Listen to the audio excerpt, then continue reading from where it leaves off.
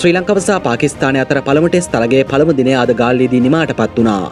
තරගේ කාසේ වාසේ ජයග්‍රහණය කළ ශ්‍රී ලංකා කණ්ඩෑම පළමුව පන්දුවට පහරදීමට තීරණය කළා.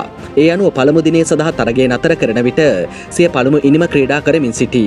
ශ්‍රී ලංකාව කඩුළු හැද්දැවී ලකුණු දෙසේ හතලිස් දෙකක් ලබා සිටියා. දිනය නිමා වන විට සිය දහවන සතකය ආසන්නේ රැදී සිටි දනංජද සිල්වා පන්දු එකසේ පනස් සතකදී නොදවී ලකුණු අනු හතරක් ලබා සිටියා. හතරේ පාර දහයක්කා හයේ පාර තුනක් ඔහුගේ ඉනිමට ඇතුළත්.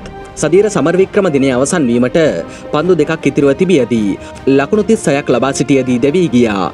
ඔහුගේ ඉනිමට හතරේ පාර පහක් ඇතුළත්. ඒ සමගින් තරගේ අදදිනයට අවසන් වුණා ශ්‍රී ලංකා කණ්ඩෑමේ පළමු කඩුළු හතරම ලකුණු පනස් සතරත් තුළදී දවා ගැනීමට පාකිස්ාන පන්දියවන්නන් සමත් වුණා. ඉනිම ආරම්භ කළ නිසාන් මදුස්ක ලකුණු හතරකට දැවීගේ සහින් අප්‍රිඩීගේ සේවර ටෙස් කඩුල්ල බවට පත්වෙමින්. අනතුරුව කුසල් මෙන්ඩෙස් ලකුණු දොළහකට දවා ගැනීමට යළිත් ක්‍රියාත්මක වූ අප්‍රිඩී සමත් වූ අතර ඒ වන විට ශ්‍රී ලංකා ලකුණු සංඛ්‍යාව විසි දෙකක් ලෙසයි වාර්තා වුණේ. නායක දෙමුත් ලකුණු විසි නවයකට දැවීගේද අප්‍රඩේගේ පන්දුවක් හමුවේ. දෙමුත්ගේ ඉනමට හතරේ පාරහයක් ඇතුළත්. චන්දිමල් එක් ලකුණකට දැවී ගියා. ඒ නයිම්සා යොමු කළ පන්දුවක් හමුවේ බාබර් අසම්මතට උඩ පන්දුවක් ලබා දෙමින්. මෙහිදී ශ්‍රී ලංකා කණ්ඩෑමේ පළමු කඩුළු තුනම එනම් නිසාන් මදුස්ක කුසල් මෙන්ඩෙසා නායක දෙමුත් කරුණාරත්න දවා ගැනීමට සමත් වනේ අප්‍රඩේ විසින්.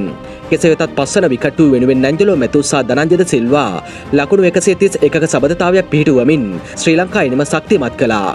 ඇන්ගලෝ මෙතු ශ්‍රී ලංකා කණ්ඩෑමේ පස්වන විකට්ටුව ලෙසින් දවා ගැනීමට අබ්‍රාර් සමත් වනා. මෙතවස් පන්දු එකසේ නවයකදී ලකුණු හැට හතරයි. හතරේ පාර නවයක් ඔහුගේ ඉනිමට ඇතුළත්. පන්දු යවීමේදී අප්‍රඩී පන්දුවාර පහලවකදී නෙලකුණු පන්දුවාර දෙකක් සමගින් ලකුණු හැට තුනට කඩුළු තුනයි. නසීම් අහමටා අගා එක් විකට්ටුව බැගින් දවා ගැනීමට සමත් වනා. පැයම්පය අලුත්වෙන දෙස් විදෙස් ක්‍රිකට් පිටියේ අලුත්ම ක්‍රිකත් තොරතුරු දැන ගැනීමට නම් ක්‍රිකට් ලෝකයා යුටිබ් නාලිකාව සබස්ක්‍රයිබ් කර බෙල් සලකුණ කලික් කරන්න.